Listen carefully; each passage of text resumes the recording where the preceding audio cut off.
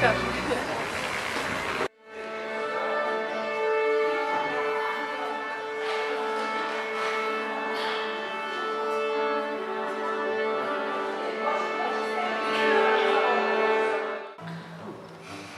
Deixa-te,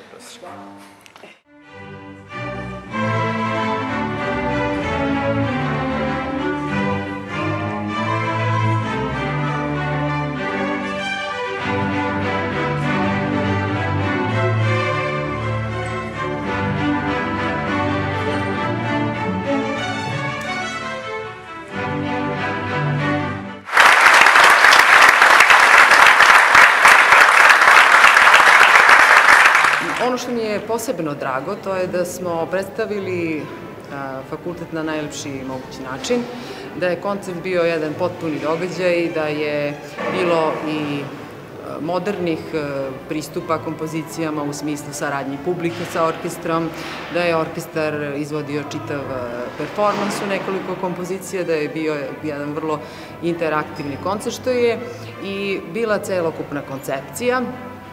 Naravno, mi smo predstavili i a, muziku domaćih autora, posebno bih istakla svetsku premijeru a, Niške rapsodije, našeg kompozitora i profesora kolege a, Dragana Tomića.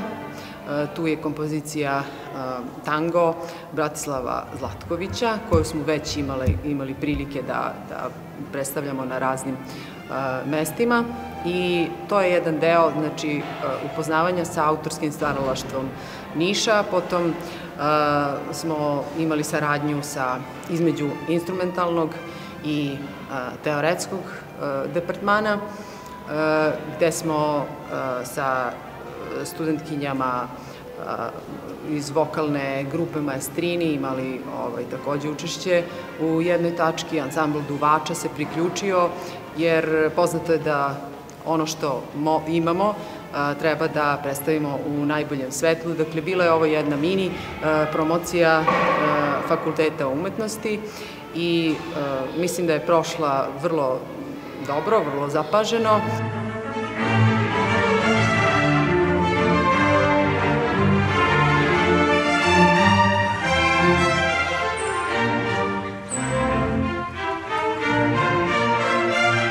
Zaista nam je veliko zadovoljstvo što smo ugostili e, dragi muzičari iz Niša i ovo je zaista bila jedinstvena prilika da i beogradska publika čuje kako je aktivan i bogat muzički život u Nišu.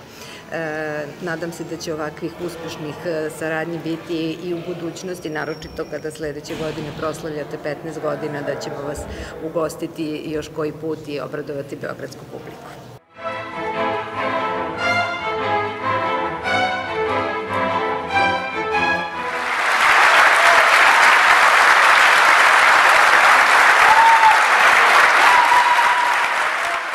Sa ovog koncerta nosim vrlo pozitivne utiske. Posebno mi se dopalo to što orkestar čine izuzetno talentovani mladi ljudi, vrlo kreativni.